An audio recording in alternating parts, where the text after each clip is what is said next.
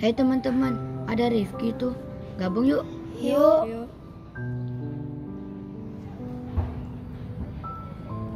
Eh Rifki, kamu ngapain sendirian di sini?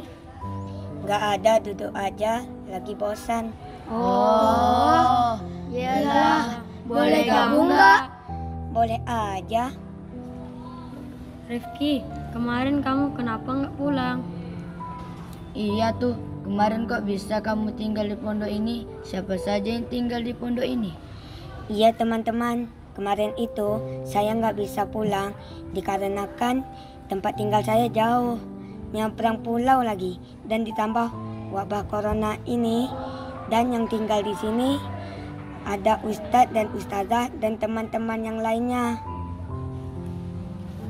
Oh alah, kesian Rifki.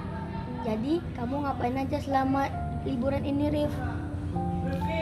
Kami pun di rumah nggak bisa ke mana-mana dan tak bisa jalan-jalan juga.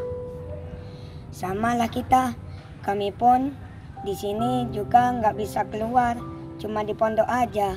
Tapi kalian enak dapat berkumpul dengan keluarga. Oh iya, alhamdulillah. Rifki, kamu kan nggak pulang. Ngomong-ngomong, kamu nggak rindu ya sama keluarga di rumah? Eh teman-teman, mungkin Rifki udah terbiasa berpisah dengan orang tuanya. Hmm, ya pasti rindu. Cuma ya mau bagaimana lagi?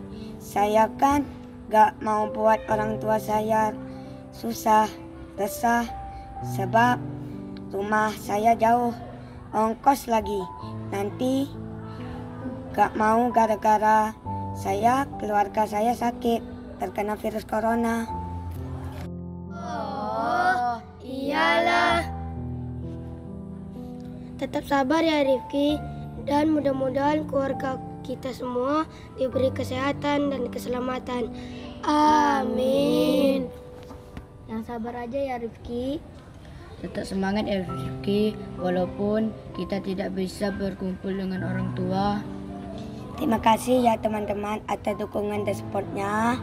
Semoga keinginan dan cita-cita yang kita inginkan tercapai. Amin. Ya udah yuk kita pulang ke kamar. Yuk.